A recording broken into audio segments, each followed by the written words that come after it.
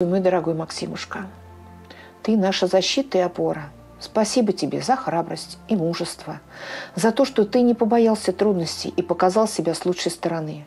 Я верю в тебя и знаю, что горжусь, мой мальчик. Ты единственная маме опора и пример для брата. Береги себя, не лезь на рожон, будь благоразумным. Удачи, везения, стойкости и храбрости и, конечно, мирного неба.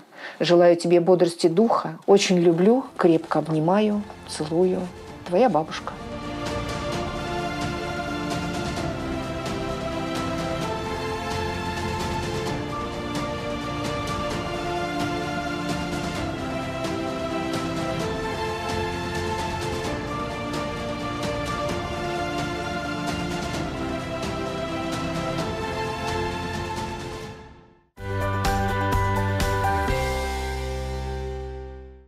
После рекламы мы поговорим об участниках проекта «Московское долголетие», которые помогают нашим солдатам в зоне конфликта.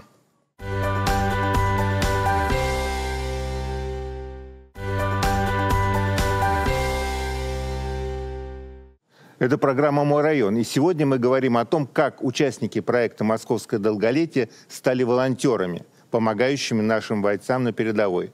У нас в студии участницы проекта «Московское долголетие» Ирина Терехова и Татьяна Другунова, а также актер театра и кино Сослан Фидаров.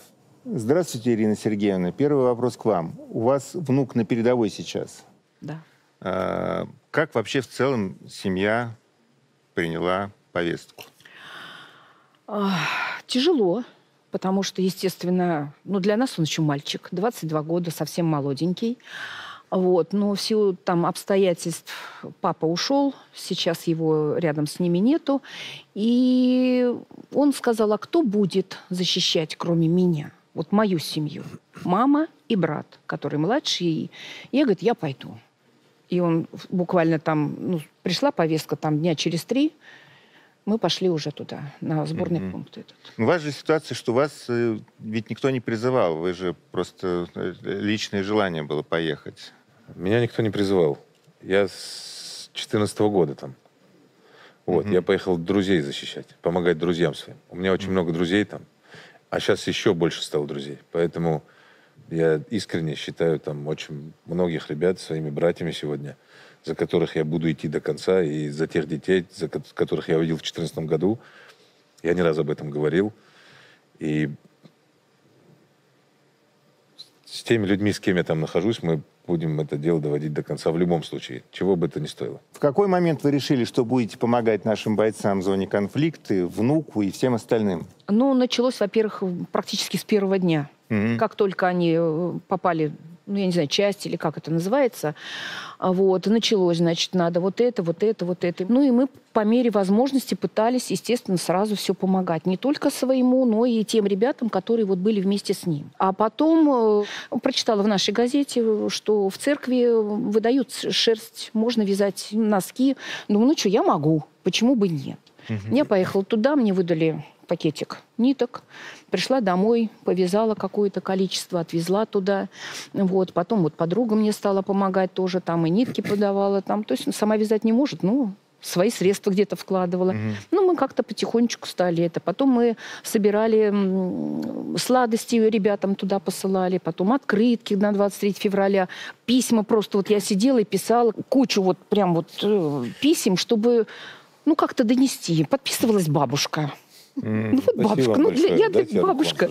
Спасибо вам большое за Спасибо. такое отношение. Это очень ценно и очень важно то, что вы Вот, не знаю, Всем. мы ему дошло туда, куда что или нет, но мы посылали. Там все общее, все. Вот, прям, и он мне, он мне в свое время сказал, бабушка, говорит, вот то, что приходит, ребята все читают, и говорит, вот, вот здесь держат.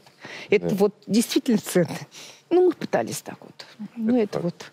Ну, потом в ТСУ у нас, э, в нашем вот это, где наше долголетие, наши тоже стали собирать, и я узнала, мы туда это приходили. Поделись теплом вот это. Да, да поделись да? теплом, да. Угу. Была первая акция, которая была в декабре на катке. Э, значит, собирали со всех районов по несколько человек. Мы там участвовали вроде как веселых стартов на катке. И была вот эта акция «Поделись добром», то есть доносили до людей, что это такое, как это делается, что вы можете сделать сделать, что вы можете там, как помочь.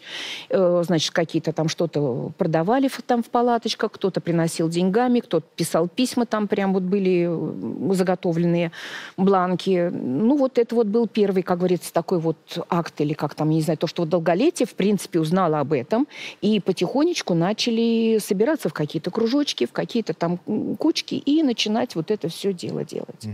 Но в силу того, что все-таки пенсионеры особо много не могут, ну вот кто нитки, кто, да. кто спицы, кто там просто вяжет, ну как-то вот это собирается, ну, как можем, помогаем. Есть возможность что-то купить, значит, покупаем, как-то отправляем. Сослан, вы ведь не так э, давно вернулись из зоны специальной военной операции. Ну, уже сравнительно месяц назад. Ну, приходилось наблюдать реакцию э, бойцов на вот, когда они получают конечно, свои Конечно, руки. это сколько да. лет это продолжается? Конечно. Mm. Конечно, и бойцам, и мы же сперва детям все возили. Mm. Поэтому дети, у детей одна реакция, у, у родителей другая реакция. У бойцов, конечно же, они скромные все, железобетонные у них, они такие сильные все. Поэтому это разные реакции. Ну, mm. конечно, когда боец читает письмо какое-то, да, mm. и так наблюдаешь за ним, а он хочется ему какие-то чувства выразить, но он отходит и прям Конечно, это да. Это Особенно, от, детей получать... подписано бабушка. Бабушка. Бабушка, ребенок, там, которого он там около полугода не видел. Это же, конечно, трогательно очень все. Любой мужчина, это как бы... Ну, дети это вообще святое. Это святое. Естественно, все восприятие вот это вот, оно, Детишки, конечно, очень... конечно. Это... Детишек, когда видишь, особенно в, дет... в таком положении, в бедственном, то уже ни, ни о чем не думаешь, идешь вперед, вытаскивать все. Поэтому вообще не страшно ничего. За детей вообще ничего не страшно.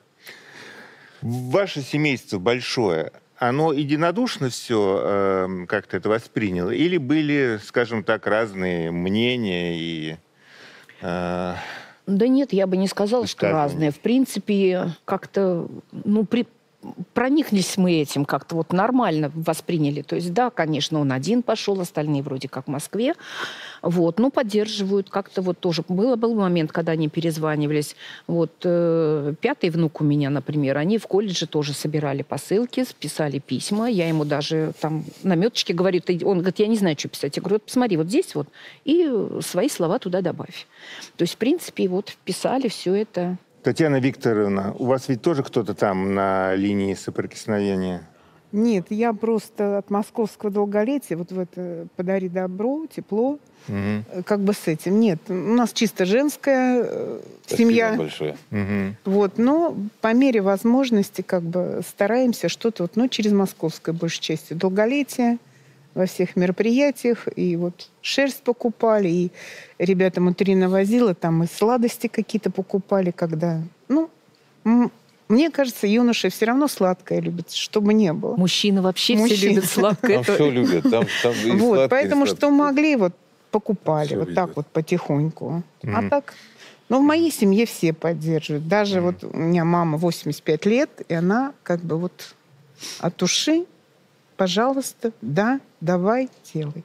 Сослан, вы ведь дважды чуть не погибли там, на передовой. Со стороны семьи не было, типа, хватит, долг выполнил, уже как вот... Нет, до сих пор э, ругаются со мной. Угу. И... А что я могу поделать? Уже, уже как бы... Ну как что? Мы знаем, что можно поделать. Не будем называть некоторых ваших коллег. ну. Нет, ну это уже, наверное, состояние души. Это уже нереально да. исправить. Да, я, я, в общем... Оно не то, что есть. Состояние. Все я вот сейчас месяц нахожусь здесь, я себе места не Переживаю, нахожу, конечно. Я, потому что это нелегко все переживать. И когда как-то там находишься, все это как-то... А сейчас себя больше виноватым чувствуешь, потому что ты здесь как-то, а не там. А я считаю, что это очень важно, что вы здесь. Есть такой термин «информационная война». Вот сейчас вы тоже на передовой, потому что люди видят вас, они слышат вас, они видят, какие прекрасные лица и в студии, и э, на фотографиях, и понимают, что мы все вместе должны быть.